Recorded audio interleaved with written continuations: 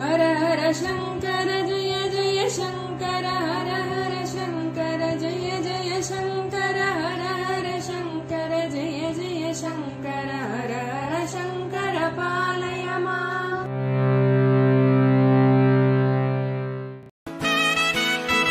Mahasankara matrimony மிகவும் மேம்படுத்தப்பட்ட online திருமணப்பதிவு இணையதளம். இந்த இணையதளத்தில் பதிவு செய்வது மிகவும் எளிது. பதிவு செய்யுங்கள். பிறகென்ன? கெட்டிமேளம்தான் உங்களுடன் நாங்கள் உங்களுக்காகவே நாங்கள். விவரங்களுக்கு தொடர்பு கொள்ளுங்கள்.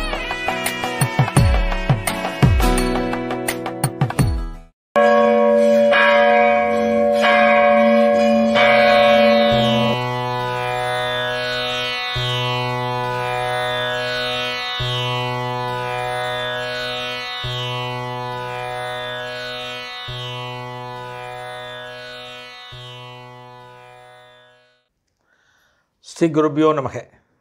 ஓம் காஞ்சிவாசாய வத்மகே. சாந்தரூபாய திமகி தன்னஸ் சந்திரசேகரேந்திர பிரச்சோதியாத். எல்லாருக்கும் நமஸ்காரம். மகாபரிவா மகிமை அனுபவத்தில் பாக்கியசாலி பாட்டிகள் அப்படின்னு பாட்டிகளை பற்றி பார்த்துட்டு வரோம். இப்போ நம்ம பார்க்குறது துக்கிரி பாட்டின்னு ஒரு பாட்டி. காஞ்சிபுரத்துக்கு பக்கத்தில் ஒரு கிராமத்தில் ஒரு காலத்தில் வசித்து வந்த பாட்டி. அந்த பாட்டியோட கதையை அந்த ஊர்லேருந்து வந்த ஒரு அன்பர்கிட்ட மகாபிரிவா சொல்லின்னு இருக்கா ராமநாம ஜபத்தை உங்கள் ஊரில் இருக்கிற பிள்ளையார் கோவிலில் இந்த பாட்டி நிறைய பண்ணுவா அதனால் அந்த பிள்ளையார் ராமநாம பிள்ளையார்னு அழைக்கப்பட்டார். இந்த பாட்டி ஜெபம் பண்ண பண்ண பண்ண பாட்டிக்கு ஒரு தெய்வீக கலை கிடச்சிது. பாட்டி எப்போவுமே ஒரு விபூதி சம்படத்தை வச்சுருப்பா யாரான ஏதான ஒரு வியாதி அப்படின்னா சில பேர் ஊரில் இருக்கிறவ அந்த பாட்டிக்கிட்ட வருவா. அந்த பாட்டி ராமநாம ஜபம் நிறைய பண்ணியிருக்கா அந்த பாட்டிக்கிட்டேருந்து ஒரு விபூதி வாங்கிட்டோம் அப்படின்னா வியாதி சரியாக போடும்னு பல பேர் வருவா. ஆனால் பல பேர் யோசிப்பா அந்த பாட்டிகிட்ட போகக்கூடாது அந்த பாட்டி கணவனை இழந்தவள் அப்படின்னு பல பேர் போக மாட்டா. இந்த கிராமத்தில் ஒரு பணக்காரர் ஒரு தனவந்தர் இருந்தார்.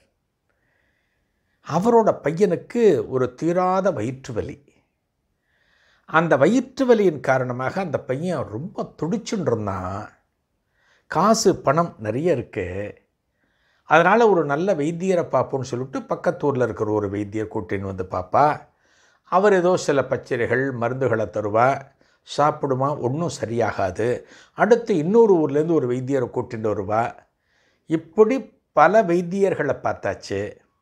ஆனால் அந்த பையனுக்கு எந்த விதமான தீர்வும் ஏற்படலை. அவன் வயிற்று வலியோடையே துடிச்சுட்டு இருந்தான் அப்போ இந்த தகவல் இந்த பாட்டிக்கு தெரிஞ்சு யார்? துக்கிரி பாட்டிக்கு தெரிஞ்சு இந்த பாட்டி என்ன பண்ணுறா கையில் விபூதி சம்பளத்தை எடுத்துண்டு இந்த தனவந்தரோட வீட்டை நோக்கி போகிறேன் அந்த காலத்தில் யாருடைய வீட்டுக்கும் இந்த பாட்டி போக மாட்டா யாரும் கூப்பிடவும் மாட்டா. ஆனால் அந்த பாட்டிக்கு என்னமோ தோணி இந்த தனவந்தர் வீட்டுக்கு போயிட்டு அந்த பையனை பற்றி சொல்லறாளே ஆளுக்கால் அவனுக்கு வயிற்று வலியால் துடிச்சுன்னு இருக்கான் அங்கே வைத்தியம் பண்ணா இங்கே வைத்தியம் பண்ணா எதுவும் சரியாகலைன்னு சொல்கிறாளே நம்ம போய் பார்க்கணும் ராமநாமத்தை சொல்லணும் அப்படின்னு முடிவெடுத்து யார் ஒருத்தர் கூப்பிடாமலே இந்த பாட்டி அந்த தனவந்தர் வீட்டை நோக்கி போகிறாளாம் இதுதான் உதவிங்கிறது. இப்போ மற்றவர்களுக்கு நம்ம உதவி செய்யணும் அப்படின்னா மற்றவர்களுக்கு நம்ம ஏதான ஒன்று பண்ணணும் அனுசரணையாக ஒன்று பண்ணணும் அப்படின்னா அவள் கூப்பிடுகிற வரைக்கும் நாம் காத்து கொண்டு இருக்கக்கூடாது வலிய போய் செய்கிறது தான் உதவின்னு பேர். ஒருத்தர் நம்மக்கிட்ட கேட்டு எனக்கு இதை கொடுங்கன்னு சொல்கிறது உதவி கிடையாது. இப்போ யாரான ஒரு படிக்கிறதுக்கு ஒரு குழந்தை கஷ்டப்படுறதுன்னு வச்சுக்கோங்க. அந்த குழந்தையோட அப்பா வந்து நம்மக்கிட்ட வந்து எனக்கு ஒரு ஐயாயிரரூவா கொடுத்தேன்னா இந்த குழந்தைக்கு ஃபீஸ் நான் கட்டிடுவேன். அப்படின்னு கேட்கின்ற வரை நாம் காத்திருக்கக்கூடாதான் நாமளாக தகவல் தெரிஞ்சு போய் செய்யணும். அதுதான் உண்மையான தர்மம். தர்மம் தர்மங்கிறோமே கேட்டு செய்யக்கூடாது? நம்மளாக போகணுமா? நம்மளாக போய் செய்யணும். பாருங்கள் இந்த இடத்துல பாட்டி செய்கிறது இதுதான் தர்மம். யாரும் கூப்பிடலை. தான் போனால் மற்றவ யாரானு திட்டுவாளோ அப்படிங்கிறத பற்றி கவலைப்படலை யோசிக்கலை. விபூதி சம்பத சம்பளத்தை எடுத்துகிட்டு நேராக பாட்டி போயாச்சு. வீட்டுக்குள்ளே போயிட்டா அந்த பையன் ஒரு கட்டியில் படுத்துட்டுருக்கான் இந்த பாட்டி தானாக உள்ளே வர்றதை பார்த்தோன்னே யாருக்கும் எதுவும் சொல்ல முடியல. நேர பாட்டி வரா பையனுக்கு பக்கத்தில் உட்கார்றா ராமநாமத்தை ஜபிக்கிற. ராமநாமத்தை ஒரு அரை மணி நேரம் ஜபிச்ச பிறகு ஆத்மார்த்தமாக ஜபிச்ச பிறகு அந்த விபூதி சம்படத்தில் இருக்கிற விபூதி எடுத்து அந்த பையனோட வயிற்றுல தடவி விடுறா. அந்த பையனுக்கு சாப்பிட்றதுக்காக வாயில் கொஞ்சம் விபூதியை போடுறா. கழுத்தில் தடவரா தலையில் அந்த விபூதியை வைக்கிறா. அடுத்த கணம் அந்த பையனுடைய முகத்தில் ஒரு புன்னகை தென்படுகிறது. இது காலம் வரை இந்த வயிற்று வலியால் அவஸ்தைப்பட்டு வந்த அந்த பையன் ஜமீன்தாரோட பையன் தனவந்தரோட பையன் சிரிக்கிறான் ஆனந்தப்படுகிறான். எனக்கு வயிற்று வலியே இல்லைப்பா அப்படின்னு அப்பாவை பார்த்தும் அம்மாவை பார்த்தும் தகவல் சொல்கிறான். இந்த பாட்டி சம்பளத்தை மூடின்னு எழுந்தாளாம். அப்போ தான் அந்த வீட்டில் இருக்கிற அத்தனை பேரும் அந்த பாட்டி காலில் விழுந்து வணங்குறாளாம். இது வரைக்கும் உங்களை நாங்கள் தப்பாக நினச்சிட்டோம். துக்குரி பாட்டி துக்குரி பாட்டின்னு உங்களை தப்பாக நாங்கள் சொல்லிட்டோம்.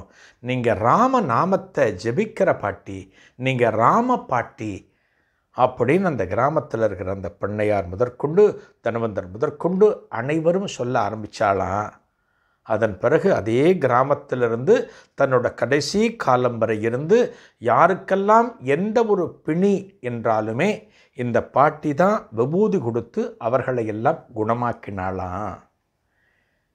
இந்த பாட்டி தான் உங்கள் ஊரில் வாழ்ந்த. இந்த பாட்டி தான் துக்கிரி பாட்டின்னு உங்கள் ஊரில் இருக்கிறவாள்லாம் ஒரு பேர் சொல்லி அந்த பாட்டியோட முகத்தை ஒரு மாதிரி சுழிக்க சுளிக்க வச்சா அப்படின்னு பெரியவா சொல்லிட்டு இந்த சொல்கிறாளாம் மகாபிரிவா என்ன பண்ணு? நீயும் ராமநாமத்தை ஜெபி. ராமநாமத்தை நிறைய சொல்லு. அப்படின்னு அவருக்கு சொல்லி பிரசாதம் கொடுத்து அனுப்பி வைக்கிறாளாம். அதாவது பொதுவாக இது கிட்டத்தட்ட ஒரு மறைமுகமான உபதேசம். அந்த அன்பிற்கு கிடைக்கிறது வரைக்கும் ராமநாமத்தை சொல்ல சொல்லி மகாபிரிவா ஒரு உபதேசம் போல் அவருக்கு சொல்லி அவருக்கு பிரசாதத்தை கொடுத்து அனுப்பி வைக்கிறார். இந்த ராம நாமத்துக்கு மட்டும் என்ன ஒரு சிறப்பு அப்படின்னா எந்த ஒரு நாமாவாக இருந்தாலும் ஓம் நமச்சிவாயா ஓம் நமோ நாராயணாயா அஞ்செழுத்து எட்டெழுத்து மந்திரம் சொல்கிறோம் இல்லையா? ஓம் நமச்சிவாயங்கிறது அஞ்செழுத்து மந்திரம். எட்டெழுத்து மந்திரம் ஓம் நமோ நாராயணாய. இந்த மந்திரங்களை நாம் சொல்லணும் அப்படின்னா ஒருத்தர்கிட்டேருந்து நம்ம தீட்சை வாங்கணும் உபதேசமாக வாங்கணும். ஆனால் ராமநாமத்திற்கு மட்டும் உபதேசமே கிடையாது. ராமநாமத்தை நமக்கு யாரும் உபதேசம் பண்ணணுங்கிற அவசியம் கிடையாது. நீங்கள் எப்பெல்லாம் தோன்றுகிறதோ ராமநாமத்தை ஜெபிக்கலாம். அந்த ராமநாமத்தை எந்த அளவுக்கு நாம் ஜெபிக்கிறோம் எந்த அளவுக்கு நாம் சொல்கிறோம் அப்படிங்கிறது நமக்கு அத்தனையும் பலனாக நற்பலனாக நமக்கே கிடைக்குமா? இதையும் ஆன்றோர்கள் சொல்லியிருக்கிறார்கள். அந்த விஷயத்தை தான் மகாபிரிவன் நண்பருக்கு சொல்லியிருக்கிறார். நாளைய நிகழ்ச்சியில் இன்னொரு பாட்டியின் அனுபவத்தை காணலாம். நன்றி வணக்கம்.